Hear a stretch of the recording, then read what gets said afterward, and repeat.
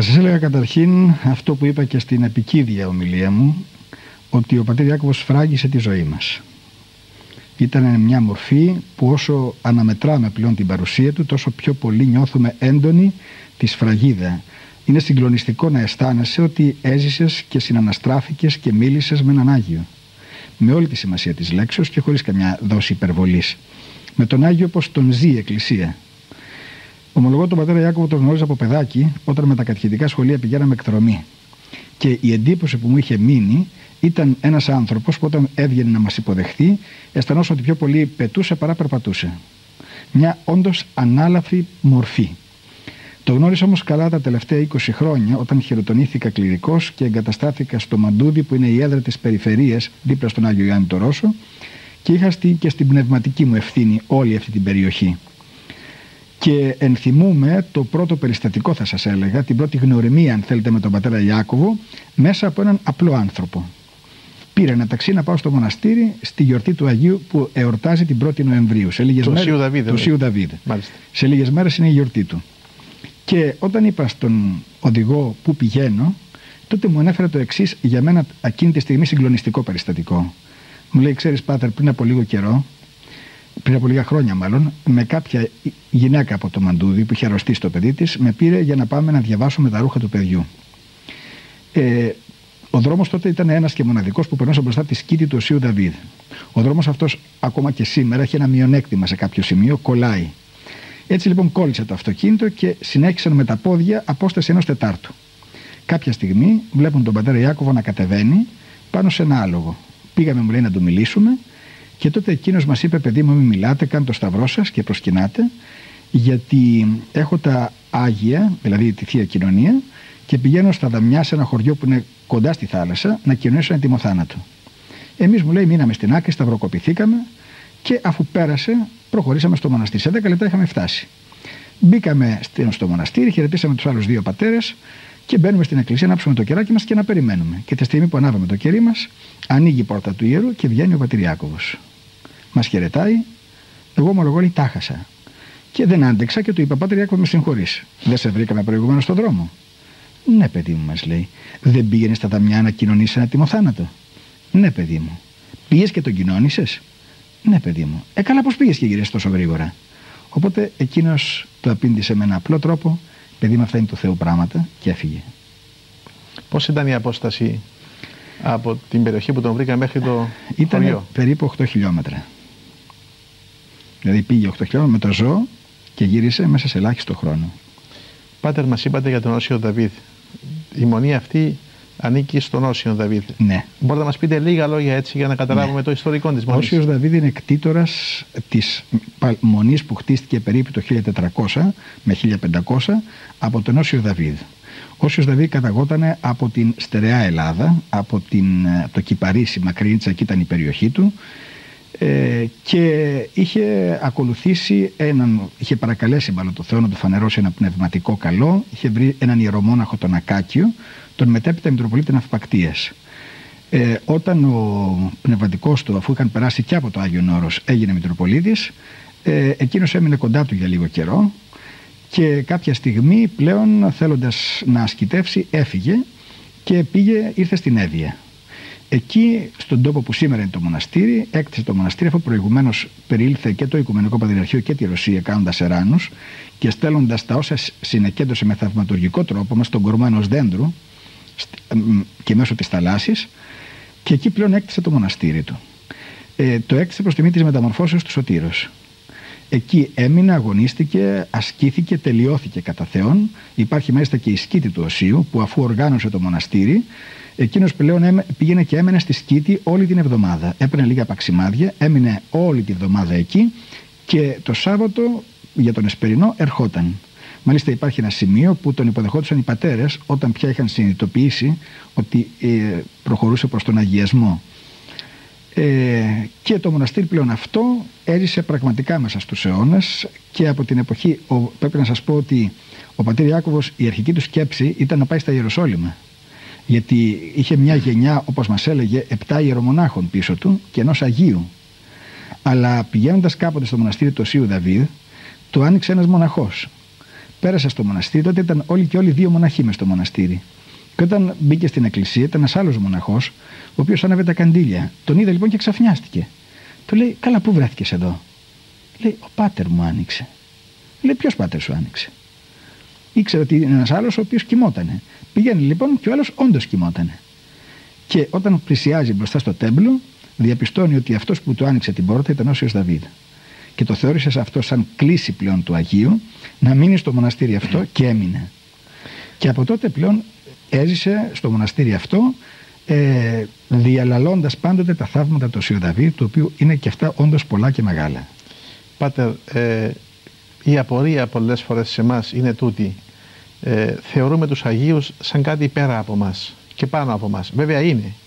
Αλλά εν πάση περιπτώσει, διαβάζοντας το βιβλίο που έχει γραφεί και βλέποντας εκεί ποια ήταν η οικογενειακή του κατάσταση ενός απλοϊκού ανθρώπου. Μάλιστα. Πάνω σε αυτά να μας πείτε μερικά. Ναι, όντως ο πατέρ Ιάκωβος ήταν γιος, ήταν πρόσφυγας, ήρθε σε ηλικία δύο ετών από το Λιβύσι της Μικράς Ασίας και έζησε μαζί με τον πατέρα και τη μητέρα του μέχρι τη στιγμή της κίνησης της μητέρας του και βοηθούσε τον πατέρα του, ήταν κτίστης εκείνος. Έτσι πάρα πολύ απλά και ταυτόχρονα ε, ζώντας αδιαλείπτως ε, δίπλα στην εκκλησία και βοηθώντας τον ιερέα του χωριού του πάντοτε. Υπηρέτησε όμως στρατό. Υπηρέτησε το στρατό βέβαια. Πήγε στο στρατό, υπηρέτησε το στρατό κοντά σε έναν αξιωματικό ο οποίος πάρα πολύ τον εξετίμησε και όταν πλέον τελείωσε τις στρατιωτικές του υποχρεώσεις ήρθε και πήγε στο μοναστήρι του Σίου Δαβίδ. Ε, διάβαζα στο βίο του εκεί τις σχέσεις με την οικογένειά του. Και ενώ οι δικοί του ήταν φτωχοί και εστερούν το και κάποτε μάλιστα είχαν πάει στο πανηγύρι, αν μπορείτε αυτό να το μνημονεύσουμε. Ναι. Ε, ο Βοδίδη Άκουβος πρέπει να ξέρετε ένας άνθρωπος μεγάλης υπακοής. Έτσι λοιπόν στον ηγούμενό του έκανε απόλυτη υπακοή. Ε, και σε σημείο που να είναι και παραξηγήσιμη, θα έλεγα. Και αυτό είναι το περιστατικό που, που μνημονεύσατε. Δηλαδή, όταν κάποτε πήγανε η ανιψούλα του που είχε πεθάνει η μητέρα της μαζί με τον αδελφό της στο μοναστήρι, στη γιορτή και ο πατήρ Άκβος επειδή δεν είχε ευλογία ε, δεν τους έδωσε τίποτα, ούτε ένα πρόσφορο ακόμα παρόλο που ήταν, ήταν όντως πολύ φτωχή η οικογένεια. Ε, γιατί είχε μάθει όντως να κάνει υπακοή και θεωρούσε ότι δεν μπορούσε να κάνει αλλιώς. Δεν σκέφτηκε ίσως ότι δεν θα είχε αντίρρηση ο γέροντας να προσφέρει ένα πρόσφορο και αυτό δείχνει την αδιάκριτη υποκαή του και αν θέλετε κατά μίμηση του Οσίου Δαβίδ. Γιατί ξέρετε, υπάρχει ένα συγκλονιστικό περιστατικό στη ζωή του Οσίου Δαβίδ, όταν ο τότε, σας είπα, Μητροπολίτης Ναυπάκτο Ακάκιος τον έστειλε για δουλειά της Μητρόπολης επάνω στην Άρτα από την Ναύπακτο. Και εκεί στην Άρτα τον είχε συναντήσει κάποιος ε, άρχοντας που τον τιμούσε πολύ και επειδή ήταν ξυπόλυτος του πήρε ένα ζευγάρι παππούσε, τσαρούχια βέβαια. Και όταν γύρισε πίσω στο μοναστήρι, στη Μητρόπολη μάλλον, τον είδε ο γέροντάς του και του λέει: Θα τα παπούτσια που τα βρήκες. Ε, του είπε αυτό και αυτό συνέβη. Και του είπε: Πήρες ευλογία για να τα πάρεις.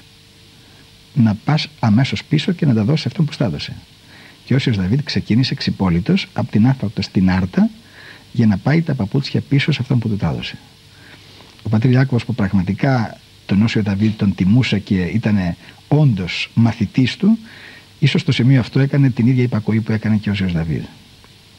Γέροντα, ε, διαβάζοντας πάλι τη βιογραφία του, ε, για μέρες πολλές έφευγε από τη μονή και πήγαινε στην σκήτη του, του Οσίου Δαβίδ εκεί και ασκήτευε. Ναι. Εσείς είχατε καμιά εμπειρία; Για την ακρίβεια πήγαινε για νύχτες πολλές. Αυτό ξέρετε ήταν άγνωστο για πάρα πολύ καιρό. Ο πατήρ Ιάκωβος τα βράδια πλέον όταν το μοναστήρι ησύχασε έφευγε μέσα στη νύχτα και πήγαινε στη σκήτη του Αγίου μέσα σε μια σπηλιά και προσευχότανε. Και μάλιστα κάποτε αντιμετώπισε ένα πειρασμό εκεί. Ε, κάποια στιγμή εκεί που προσευχότανε συνειδητοποίησε ότι από παντού από τη σκήτη κρεμόντουσαν σκορπιοί. Και ενώ στην αρχή ήταν άνθρωπος που φοβόταν έτσι, σαν άνθρωπος, ε, στην αρχή ταράχτηκε. Μετά όμως θυμήθηκα, παιδί μου, λέει ότι έτσι πολλές φορές πειράζει ο πειρασμός αυτούς που προσεύχονται. Οπότε στράφηκα, τους είδα και τους είπα: Φάτε με, φάτε με, εγώ δεν φεύγω από εδώ. Και αμέσως εξαφανίστηκαν. Για πάρα πολλά χρόνια λοιπόν, όντως πήγαινε τις νύχτες και προσευχόταν. Γιατί πρέπει να σας πω ότι ήταν όντως άνθρωπος προσευχής. Πολύ, μεγάλης. Ε, Κανείς δεν ξέρει πόσο πραγματικά κοιμόταν ή όχι. Το κρεβατάκι του που σώζεται και σήμερα είναι απλά έχει ένα ξύλινο υπόστρωμα και κάποιες ε, ε, λινάτσες, κάποιες κουρελούδες εκεί και πάνω εκεί ξα, ε, κοιμότανε. Αν, και τον περισσότερο καιρό τον περνούσε καθιστός και γονατισμένος μπροστά εκεί στον εσταυρωμένο και διάβαζε παρακλήσεις στους Αγίους, έκανε την προσευχή του για τους ανθρώπους γιατί είναι πάρα πολλοί άνθρωποι εκείνοι που ζητούσαν την ε, βοήθειά του. Μέχρι και την παραμονή, μάλλον όχι την παραμονή, την ημέρα του θανάτου του ε, απήντησε σε οκτώ επιστολογράφους, οκτώ χριστιανούς. Τις πέντε επιστολές τις έγραψε ο ίδιος και τις τρεις ανέθεσε σε κάποιον αδελφό της Μονής να τις γράψει. Και εκεί πάνω στο μικρό τζάκι, το οποίο σπάνια άναβε, ε, υπήρχαν στίβες από γράμματα που του έστελναν συνεχώς οι άνθρωποι ζητώντας τη βοήθειά του. Άνθρωποι πολύ προσευχής για όλους αν ξέρετε. Και η προσευχή του πραγματικά αγκαλιάζε τους πάντες είχε δε μια μεγάλη παρησία απέναντι στο Θεό και απέναντι στον Άγιο Δαβίδ. Και μάλιστα υπάρχει, ξέρετε, ένα χαριτωμένο περιστατικό που δείχνει την παρησία, την παρησία που είχε. Κάποτε ήρθε κάποιος πρωί-πρωί και του είπε ότι Πάτρι Ιάκωβε κάποιος έκοψε 30 ρίζες στο μοναδικό ελαιόνα που έχει μονή. Ε, στεναχωρήθηκε ο Πατρι και πήγε στον Όσιο Δαβίδ μπροστά στην εικόνα του και του λέει Γέροντα, τι κάθεσαι εκεί και μου καμαρώνεις; Εγώ άφησα τα δικά μου να έρθω να υπηρετήσω εσένα. Και εσύ δεν φροντίζεις τα πράγματά σου; Λοιπόν, αν μέχρι το απόγευμα στον Εσπερινό δεν μου έχεις φέρει εδώ αυτό που έκοψε τις ελιές, εγώ ούτε καντήλ θα σου ξανανάψω, ούτε θα σε ξαναθυμιατήσω. Και τελικά το απόγευμα πριν από τον Εσπερινό, ο άνθρωπος που είχε κόψει τις ελιές χτύπησε την πόρτα του μοναστηριού, ζήτησε τον πατέρα Ιάκωβο και πήγε και του είπε: Γέροντα, εγώ έκοψα τις ελιές. Αυτό είναι καταπληκτικό. Ναι. Γέροντα, κάτι άλλο. Ε, όταν πήγε τα πρώτα χρόνια στο μοναστήρι, είχε νομίζω Ελάχιστους μοναχούς; Είχε τρεις περίπου μοναχούς, ήταν ιδιόρεθμη η μονή. Είναι αλήθεια ότι ταλαιπωρήθηκε λιγάκι στην αρχή γιατί οι πατέρες οι τότε είχαν άλλες συνήθειες. Ο πατήρ Ιάκωβος ήθελε να είναι κοινοβιακό το μοναστήρι. Τότε βέβαια δεν ήταν ηγούμενος. Ήταν ηγούμενος ο πατήρ Νικόδημος, ο οποίος ήταν όμως και εφημέριο στη λίμνη και ανεβοκατέβαινε στο μοναστήρι και δεν μπορούσε να έχει ίσως και άμεση γνώση των πραγμάτων που συνέβαιναν και είναι αλήθεια ότι ταλαιπωρήθηκε και δυσκολεύτηκε στην αρχή γιατί όπως σας είπα κάποιοι πατέρες ήταν ιδιόρυθμοι και το έφεραν αρκετή δυσκολία. Η επιθυμία του ήταν να γίνεται λειτουργία καθημερινά στο μοναστήρι, πράγμα που λιγάκι αργότερα το πέτυχε. Και πραγματικά στο, σε αυτό το μοναστήρι μέχρι και σήμερα καθημερινά τελείται η Θεία Λειτουργία. Για πόσα χρόνια ήταν, κάποτε έγινε ηγούμενος της ναι. Μονής. Ηγούμενος της Μονής έγινε τα δέκα τελευταία χρόνια πριν από την κίνησή του. Ε, δεν θέλησε ποτέ ο ίδιος να διεκδικήσει κανένα αξίωμα και δεν θεωρούσε ποτέ τον εαυτό του. Μάλιστα συνήθισε πάντοτε να λέει χαρακτηριστικά «Παιδί μου, εδώ ηγούμενος είναι ο Όσιος Δαβίδ». Και οτιδήποτε συνέβαινε και όλος ο κόσμος που έτρεχε στο μοναστήρι πάντοτε απέδιδε αυτή τη σύναξη του λαού στον Όσιο Δαβίδ. Θυμάμαι την τελευταία φορά της μεταμορφώσεως, γιατί το μοναστήρι γιορτάζει δύο φορές το χρόνο. Της μεταμορφώσεως, προς τιμή της οποίας κτίστηκε από τον Όσιο Δαβίδ, που είναι και καλοκαίρι και έχει χιλιάδες πραγματικά λαού. Μας έλεγε ότι τα παλιά χρόνια εκεί απ' έξω ήταν 2.000 ζώα. Οι άνθρωποι ερχόντουσαν με τα ζώα από τη νύχτα, γινόταν η αγρυπνία τη νύχτα, ξημερώντας το που είχε τελειώσει, να πάρουν οι άνθρωποι κάτι, να φάνε και μετά να γυρίσουν πίσω στο σπίτι τους. Την τελευταία λοιπόν ε, χρονιά που ήταν εν ζωή, θυμάμαι ότι όταν έφτασα στο μοναστήρι, με πήρε και για πρώτη φορά, επειδή είχε πάρα πολύ κόσμο, δεν το έκανε αυτό, βγήκαμε μια βόλτα γύρω-γύρω στο μοναστήρι και έβλεπα αυτό τον, τη λαοθάλασσα που ανέβαινε και έλεγε: Κοίταξε αυτός ο Άγιος πόσο ζωντανός είναι, παιδί μου, κοίταξε πόσου ανθρώπου μαζεύει κοντά του. Ποτέ δεν διανοήθηκε ότι ο κόσμος θα μπορούσε να έρχεται και για εκείνον. Πάτερ, κάτι να ρωτήσω. Ε, το πρόγραμμα, το καθημερινό της ζωής του, ποιο ήταν; Να σας πω, το πρόγραμμα το καθημερινό ξεκινούσε από την καταρχήν δική του πρωινή προσευχή, τον κανόνα του, που κανείς δεν ξέρει πόσος ήταν. Μετά στην ακολουθία πάντοτε. Σας διακόψω, όταν λέτε κανόνα για να ακούσουν οι τηλεθεατές μας, για να εξηγήσουμε ναι. τι είναι αυτό. Την, την προσευχή του με το κομποσχήνι του, καταρχήν. Και με μετάνιες. Και με τις μετάνιες του. Και από εκεί πέρα ο ίδιος, ανάλογα με τα αιτήματα που είχε, έκανε παρακλήσεις στην Παναγία, στον Άγιο Δαβίδε, στους Αγίους. Είχε μια ιδιαίτερη ευλάβεια στον Άγιο Ιωάννη το Ρώσο. Θα μιλήσουμε παρακάτω ναι. να μας πείτε για τον Άγιο Δαβίδ. Και έτσι ο δικός του ατομικός κανόνας πέρα από το κουμποσχήνι και τις μετάνοιες του περιλάμβανε ε, τις προσευχές του για τους ασθενείς, για αυτούς που το είχαν ζητήσει και μάλιστα πολλές φορές ο πατήρ Ιάκωβος επενεύει θαυματουργικά στη ζωή κάποιων ανθρώπων. Όπως; Να σας πω ένα περιστατικό. Ε, είχε την ανιψά του, η οποία, το μόνο παιδί θα έλεγα της αδελφής του που πραγματικά το αγαπούσε. Ε, ήταν ήδη παντρεμένη και περίμενε να γεννήσει το πρώτο της παιδί. Ε, ο γιατρός τους είχε πει ότι εάν μέχρι το Σάββατο δεν έχει γεννήσει θα έρθετε. Παρασκευή βράδυ λοιπόν, 10 η ώρα το βράδυ, χτυπάει η πόρτα. Μου είπε ο ανυψός του ότι ξαφνιαστήκαμε τέτοια ώρα ποιος είναι. Ανοίγουμε και βλέπουμε τον παππού μπροστά μας. Έτσι τον έλεγα τον πατέρα Ιάκωβο. Ο οποίος είχε πάει στο σπίτι με το χεράκι του Οσίου Δαβίδ. Ε, ξαφνιάστηκαν που τον είδαν γιατί δεν συνήθιζε ούτε σε συγγενικά του πρόσωπα να πηγαίνει. Και κάποια στιγμή πήρε στο άλλο δωμάτιο τον ανυψό και του λέει παιδί μου αύριο θα περάσετε μια μεγάλη δυσκολία. Αλλά μην φοβηθείτε όμως ο Άγιος Δαβίδ είναι κοντά σας γι' αυτό ήρθε και αφού σταύρωσε με το χεράκι του Αγίου την κοπέλα, την επομένη το πρωί πήγανε για να γεννήσει.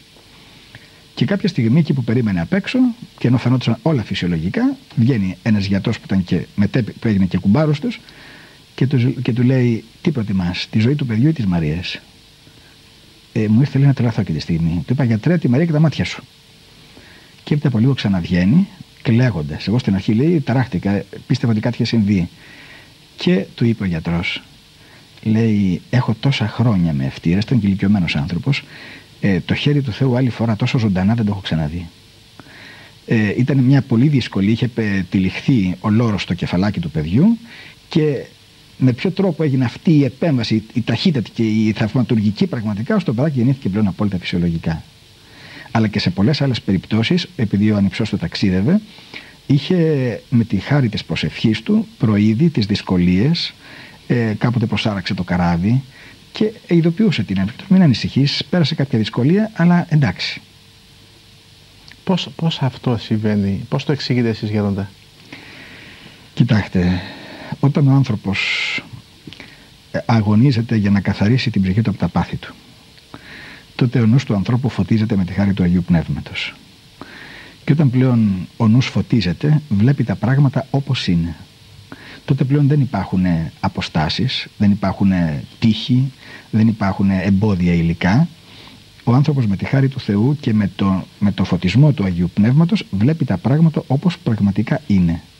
Και γι' αυτό βλέπουμε πολλές φορές ε, τέτοιους Αγίους ανθρώπους να μπορούν να μας μιλάνε για μας πριν καν ανοίξουμε εμείς το στόμα μας. Να γνωρίζουν πολύ καθαρά τη ζωή μας.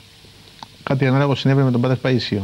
Ναι τον πατέρα Παΐσιο, με τον πατέρα Πορφύριο. Τον πατέρα Πορφύριο. Είναι οι άνθρωποι οι οποίοι πραγματικά ήταν εντυπωσιασμένοι πολλές φορές. Θυμάμαι κάποια, επειδή είμαστε και στην Κύπρο, να το πω αυτό, Παρακαλώ. κάποια κοπέλα από την Κύπρο που είναι πλέον εγκαταστημένη σε εμάς, στη Βόρεια Εύβοια, που όταν μου είπε για πρώτη φορά πήγα στο μοναστήρι, δεν είχα, δεν είχα ξαναδεί ποτέ, και πήγα στο μοναστήρι ε, μαζί με μια φίλη μου. Το πρωί μας χάλασε το αυτοκίνητο, ταλαιπωρηθήκαμε, είχαμε ξεκινήσει από το πρωί και φτάσαμε το βράδυ.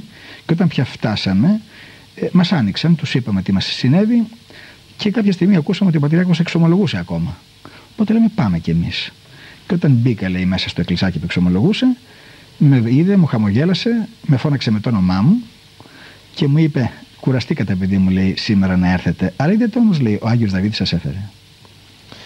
Πατέρ, συγκλονιστικά αυτά που λέμε, να κάνουμε ένα σύντομο όμως διάλειμμα και να επανέλθουμε. Αγαπητοί μας, σε λίγο μαζί σας. Από τη σύντομη αυτή διακοπή και το διάλειμμα επανερχόμαστε. Μαζί μας είναι ο πατήρ Παύλος και κάνουμε μια αναφορά στη ζωή και στα θαύματα μιας οσιακής μορφής του πατρός Ιακώβου Τσαλίκη. Πάτερ Παύλο, ρώτησα προηγουμένως για το πρόγραμμα, μου αναφέρατε μόνο για τον κανόνα των πρωινών. Ναι. Τις υπόλοιπες όλες τις ημέρες. Στη συνέχεια λοιπόν ήταν η πρωινή ακολουθία. Το μεσονεκτικό, όρθρος και όπως σας είπα, καθημερινά η θεία λειτουργία. Τι ώρα σηκωνόντουσαν στο μοναστήρι, Στις 4.30. Μάλιστα. Και στις 5 άρχιζε η ακολουθία. Μάλιστα. Και είχε, όπως σας είπα, κάθε μέρα θεία λειτουργία. Δηλαδή, μόνο, η περιπτώση που δεν λειτουργείται ήταν της μεγάλης Τεσσαρακοστής. Που είναι. Που ε, μόνο Τετάρτε και Παρασκευές που γίνεται προηγιασμένε. Στη συνέχεια και μετά από ένα πρωινό άρχιζε η εργασία στο μοναστήρι. Να, ε, να θυμάστε ότι ο πατήρ Ιάκωβος μαζί ήταν άλλοι δύο μοναχοί, ο πατήρ Κύριος σημερινός Σίγμος και ο πατήρ Σεραφείμ, ήταν για όλα αυτά τα χρόνια, δηλαδή πέντε χρόνια πριν από την κίνησή του, ήταν τρεις άνθρωποι. Μάλιστα. Το μοναστήρι πάντοτε πεντακάθαρο. Πάντοτε ε, γεμάτη αγάπη. Δεν υπήρξε άνθρωπος που να πάει στο μοναστήρι και να μην τον φιλοξενήσει και οι άλλοι πατέρες με πάρα πολύ αγάπη και αψηφώντας τον κόπο τις φροντίδες, τα διάφορα διακονήματα μέσα στο μοναστήρι, τα οποία οι τρεις άνθρωποι τα μοιραζόντουσαν όλοι και ο πατήρ Ιάκωβος. Και επιπλέον ο πατήρ Ιάκωβος είχε ένα άλλο διακόνημα πάρα πολύ σημαντικό, να διακονεί το μυστήριο της εξομολογήσεως, που πλέον οι άνθρωποι ερχόντουσαν από ένα σημείο και μετά μάλιστα σε οποιαδήποτε ώρα της ημέρας, το πρωί, μετά τη λειτουργία, το μεσημεράκι, το απόγευμα, στον εσπερινό το βράδυ και μάλιστα λίγο παλαιότερα, δηλαδή όταν οι σωματικές του δυνάμεις του το επέτρεπαν, πολλές φορές η εξομολόγηση ε, τελείωνε με την έναξη πρωινής ακολουθίας. Εσείς, Πάτερ, ήσασταν πνευματικό του παιδί. Ναι. Από την προσωπική σας εμπειρία, αν μπορείτε και ό,τι μπορείτε να μας πείτε. Κοιτάξτε, Δηλαδή πώς τον ζήσατε ως πνευματικό πατέρα; ο πατήρ Ιάκωβος ήταν ένας πνευματικός που είχε μια πολύ μεγάλη αγάπη. Θα έλεγα ότι δεν σε άφηνε ποτέ να αισθανθείς άσχημα. Και επιπλέον πολλές φορές έκανε κάτι άλλο το οποίο ήταν συγκλονιστικό. Ε, γονάτιζε και έπεφτε μπρούμητα μπροστά στον εξομολογούμενο. Και όταν κάποτε τον ρώτησαν γιατί το κάνει αυτό, έδειξε τη... με- ε, μας είπε, η απάντησή του ήταν «Μα παιδί μου, έρχονται τόσοι διαπρεπείς άνθρωποι εδώ, καμορφωμένοι καθηγητές αεροπαγίτες και σε μένα το χωικό. Πώς μπορώ εγώ να σταθώ μπροστά τους». Και από την άλλη μεριά έβλεπε κανείς τη μεγάλη αγάπη και τη διάκριση με την οποία αντιμετώπιζε τα προβλήματα των ανθρώπων. Ε, δεν σας κρύβω ότι μερικές φορές για κάποιες νεότατος εγώ κληρικός, περιπτώσεις δύσκολες, ήθελα να τον συμβουλευτώ και πήγαινα στο μοναστήρι. Ειλικρινά σας λέγω, σε καμία περίπτωση δεν πρόλαβα να τον ρωτήσω πρώτος. Με έπαιρνε μετά τη λειτουργία στο κελάκι του και άρχισε, αφού με ρωτούσε τι γίνεσαι, τι κάνεις, πώς πας, πώς πάει η διακονία σου. Να, παιδί μου και εδώ έρχονται άνθρωποι, έχουν τις δυσκολίες, έχουν προβλήματα. Μου ανέφερε περιστατικά για τα οποία ήθελα εγώ να τον ρωτήσω. Μου έλεγε, ε, να παιδί μου, τη μια μεριά οι κανόνες της Εκκλησίας, την άλλη οι ανάγκες των ανθρώπων, η αγάπη. Ε, και μου έλεγε πώς οικονομούσε τα πράγματα. Και μου απαντούσε σε αυτά που ήθελα να τον ρωτήσω. Και από την άλλη μεριά και όταν ακόμα ε, έκρινε ότι πρέπει να επιβάλλει κάποιο επιτίμιο ε, ήταν τόση μεγάλη η αγάπη του ώστε περίπου σου ζητούσε συγγνώμη για το επιτίμιο που θα μπορούσε να βάλει και ποτέ δεν αισθάνθηκε κανείς το επιτίμιο του πατρός Ιακώβου σαν τιμωρία ή σαν ε, οτιδήποτε άλλο καμιά φορά που νιώθουμε οι άνθρωποι. Δημιουργήσε τόσο και, και πάλι σου λέει θα, να τα ξαναπούμε παιδί μου να τα ξαναπούμε και έτσι πλέον οικοδομούσε τους ανθρώπους και στον πατέρα Ιάκωβος συνάντησα αυτό που καμιά φορά ξέρετε μέσα στον κόσμο λιγάκι λειτουργεί παράξενα δηλαδή ε, δεν ξέρω η ανθρώπινη αδυναμία καμιά φορά μας κάνει να χρησιμοποιούμε τους κανόνες της Εκκλησίας σαν κανόνια με τα οποία ίσως ταπεινώνουμε και πολύ ταλαιπωρούμε τους ανθρώπους εκείνος τους χρησιμοποιούσε πάντοτε σαν βακτηρίες σαν φάρμακα θεραπευτικά που βοηθούσαν τον ασθενή να αναλάβει και να συνεχίσει την πορεία του. Δηλαδή αυτό που καμιά φορά ο κόσμος έχει την εντύπωση ότι θα πάω στο πνευματικό να του πω αυτή την αμαρτία. Ε, καλά, αφήνω ότι μερικοί χωρίς αψήφιστα μπορεί να πούν θα το πει ο παπάς κλπ. Αυτό είναι ναι. ένα επιχείρημα που δεν στεκεί. Δεν το συζητάμε καν αυτό. Καν. Αυτό που λέει ο Πατέρ Παύλος, ε, αυτή η δηλία που νιώθουν μερικές φορές ή ο φόβος που συνέχει μερικούς που πάνε να εξομολογηθούν. Ε, τώρα λέτε και είναι γεγονός ότι πράγματι δεν υπάρχει αυτό. Ναι. Θα σας έλεγα ότι ο φόβος είναι πριν φτάσει κανείς στην πόρτα. Όταν φτάσει στην πόρτα, μετά αφού βγει και περάσει, δηλαδή η συνάντηση καταρχήν με τον πατέρα Ιάκο για το οποίο μιλάμε. Αλλά πιστεύω με, κάποιο, με κάθε πνευματικό ο οποίος λειτουργεί μέσα στην παράδοση της Εκκλησίας μας, ε, είναι μια συνάντηση ελευθερίας. Και επειδή είμαι εδώ θα σας πω ένα συγκεκριμένο περιστατικό χαριτωμένο από ένα παιδάκι στο σχολείο που είχα πάει κάποτε να δω τα παιδιά. Ήρθε ένα παλικάρι, έφηβος, μιλήσαμε, εξομολογήθηκε. Στην αρχή μου είπε ότι ξέρετε έχω ένα δισταγμό, φοβάμαι. Όταν λοιπόν τελειώσαμε, ε, φάνηκε χαρούμενος, πηγαίνει προς την πόρτα, ανοίγει την πόρτα και μόλις την ανοίγει την ξανακλίνει και γυρίζει και μου λέει γιατί είμαι τόσο χαρούμενος; Έτσι με πολύ αυθόρμητο τρόπο. Γιατί πραγματικά είναι ο πειρασμός καμιά φορά, ξέρετε, που κάνει τον άνθρωπο να σκεφτεί ότι μπορεί ο πνευματικός να πει αυτά τα πράγματα που θα εξομολογηθεί και πώς θα τον δω μετά, θα τον τρέπουμε. Ενώ η πραγματικότητα είναι τελείως διαφορετική. Ανάμεσα στον πνευματικό και στον εξομολογούμενο δημιουργείται μια σχέση αγάπης. Δεν είναι καθόλου τυχαίο ότι το πνευματικό το ονομάζουμε πνευματικό πατέρα. Γιατί είναι πλέον εκείνος που στο όνομα του Θεού γνωρίζει την ψυχή του ανθρώπου και αυτό που τον συνδέει είναι μια σχέση πλέον ιότητας και πατρότητας και μια μεγάλη ευθύνη πλέον για τον άνθρωπο αυτό να προσεύχεται. Έτσι, ε, αυτό που πραγματικά συμβαίνει είναι το τελείως αντίθετο από αυτό που φαντάζονται οι άνθρωποι. Και αυτό στον πατέρα Ιάκωβο το βλέπαμε πάρα πολύ έντονο από το γεγονός ότι πλέον άνθρωποι που ξέρετε πολλές φορές τους βάραιναν πολλά πράγματα ε, όντως απελευθερώθηκαν. Μάλιστα.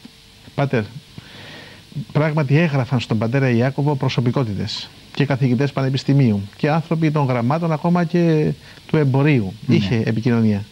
Να μας αναφέρετε κάτι αν ξέρετε και το δεύτερο που πρέπει να μνημονεύσουμε εδώ είναι η, εκείνη η επικοινωνία που είχε μαζί με τον Μακαρίτη τον Ανδρέα Παπανδρέου.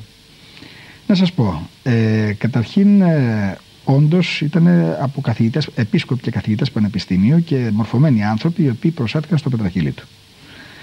Ε, και πραγματικά το γεγονός ότι προσέτρεχαν φανερώνει ότι έβρισκαν αυτό που πραγματικά ήταν. Ενώ η μόρφωσή του ήταν. Η μόρφωσή του δημοτικού. δημοτικού. Αλλά όταν τον ακούτε να διαβάζει τα κείμενα, νομίζετε ότι έχει τελειώσει το πανεπιστήμιο. Θυμάμαι την έκπληξη κάποτε του νυν Αρχιεπισκόπου Κρήτης όταν τον άκουσα να διαβάζει τα αναγνώσματα. Μάλιστα. Ε, είχε όντως επικοινωνία με πολλούς ανθρώπους. Σας είπα ότι τον τιμούσε ιδιαίτερα ο Οικουμενικός Πατριάρχης το οποίο μάλιστα προέβλεψε την εκλογή του και ναι, προσευχήθηκε για αυτήν. Τον Ι Πατριάρχου, τον Βαρθολομαίο. Του Βαρθολομαίου. Τον είχα επισκεφθεί ο μακαριστός Πατριάρχης ο Νικόλαος της Αλεξανδρίας και πάρα πολλοί επίσκοποι και ιεράρχες. Ε, το περιστατικό που αναφέρατε προηγουμένως συνέβη ως εξής. Ο Πατριάρχος κάποτε είχε προβλήματα με την καρδιά του, είχε βάλει και βηματοδότη. Ε, ευρισκόμενος στο στάδιο της αναρρώσεω, έπαθε μία από τις γνωστές τότε κρίσεις ο τότε Πρωθυπουργός. Ο Ανδρέας Παπανδρέου. Ο Ανδρέας Παπανδρέου της Ελλάδος.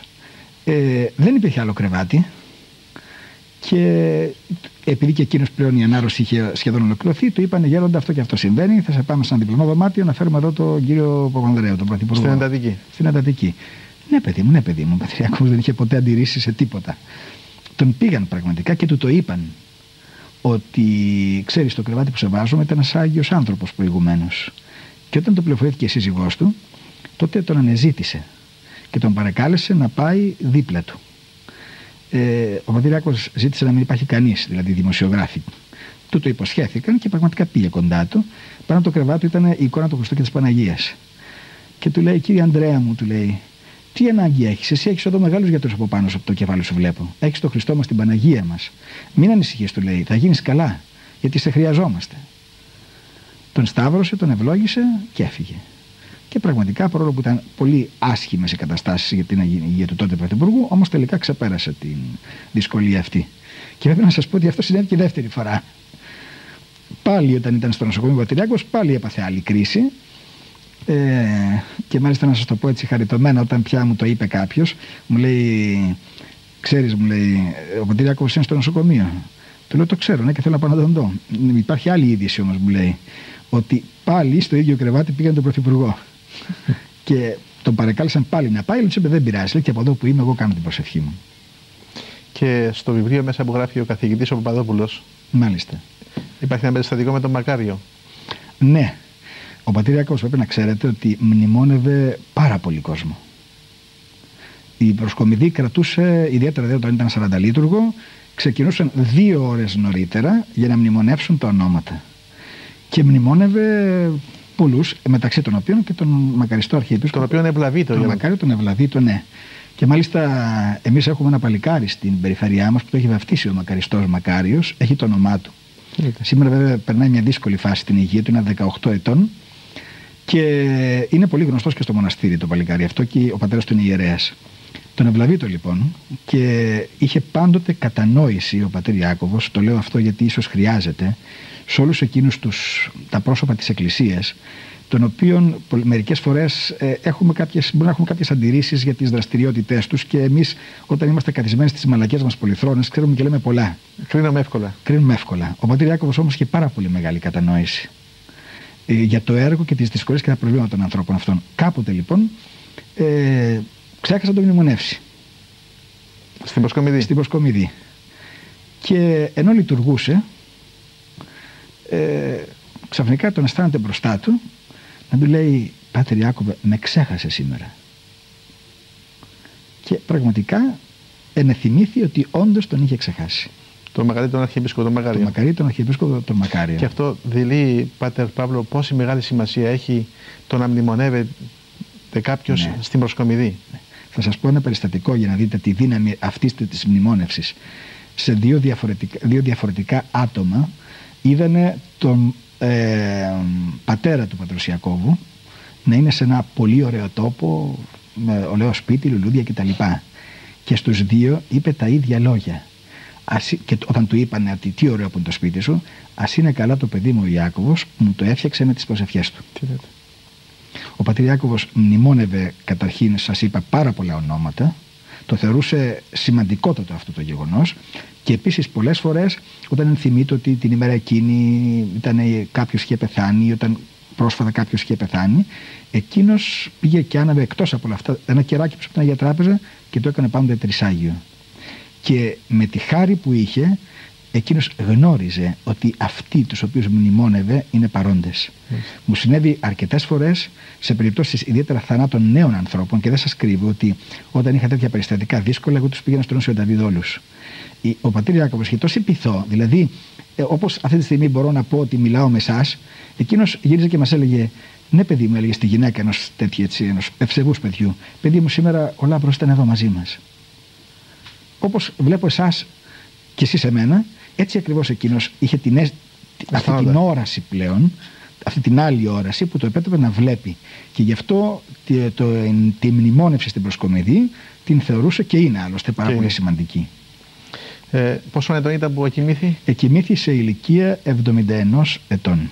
Και ήταν 21 Νοεμβρίου. 21 Νοεμβρίου, την ημέρα της Παναγίας των Ισοδίων, εκείνος έκανε τα δικά του εισόδια στην δόξα και στη βασιλεία του Θεού. Ο τάφος του που βρίσκεται τώρα; Βρίσκεται μέσα στο μοναστήρι. Έφυγε όπως το είχε προείδη, σαν πουλάκι κυριολεκτικά, με τρεις αναπνοές. Σηκώθηκε όρθιο, εξομολογούσε και τη στιγμή, βλέπετε μέχρι και το τέλος. Εξομολογούσε. Εξομολογούσε και εκεί που εξομολογούσε, σηκώνεται όρθιος, έφερε λίγο τα, τα, τα χέρια του μπροστά στα μάτια ε, και λέει σε το πρόσωπο εξομολογητή, σήκω παιδί μου, γιατί ήδη ήρθαν, μπήκαν στο κελί μας η Παναγία, ο Άγιος Ιάκωβος και ο Όσιος Ιωάννης ο Ρώσος και ο Όσιο Δαβίδ. Λέει και τι ήρθαν να κάνουνε; Ήρθανε παιδί μου να με πάρουνε. Ενώ εξομολογούσε. Ναι. Και εκείνη τη στιγμή γονάτισε και έπεσε. Την ίδια στιγμή είχαν φτάσει από τη Χαλκίδα, από τη χειροτονία ενός αδελφού της Μονής, οι πατέρες. Και συνέβη τη στιγμή εκείνη να χτυπάει από τη μια μεριά η πόρτα του κελιού του και την άλλη εκείνος πλέον να έχει πέσει. Άνοιξε η πόρτα, τρέξαν οι πατέρε δίπλα του, έκανε μια πραγματικά τρεις αναπνοές και έφυγε σαν πουλάκι όπως το είχε προείπει. Οσιακό τέλος. Οσιακό τέλος. Πάτε Παύλο, να έχουμε την ευχή του.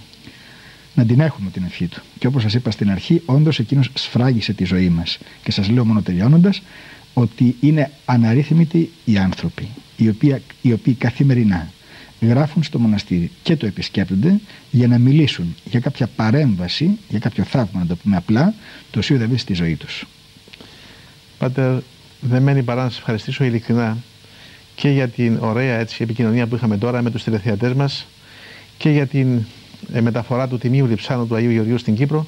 Αλλά έχω και την αίσθηση ότι προσεύχεστε εσείς με τόσους Αγίους που έχετε εκεί, τον Άγιο Νετορώσον, τον Όσιο Δαβίδ, τον Άγιο Ιάκωβο Τσαλίκη, γιατί αυτή είναι η συνήθεια της Εκκλησίας μας, ότι είναι Άγιος ο πατήρ Ιάκωβος και να προσεύχεστε για την Κύπρο, Πάτερ. Να ξέρετε ότι προσευχόμαστε και ίσως ε, ο πατήρ Ιάκωβος δεν αγαπούσε μόνο τον μακαριστό Αρχιεπίσκοπο, αλλά γενικά ε, όλους τους Κυπρίους, γιατί εμείς φιλοξενήσαμε στην περιφέρεια μας πολλούς Κυπρίους μετά την εισβολή. Και είχε πάντοτε μια αγάπη για όλους και ιδιαίτερα γιατί ήξερε ότι είναι πονεμένοι. Πάτερ, σας ευχαριστώ πάρα πολύ. Εγώ σας ευχαριστώ.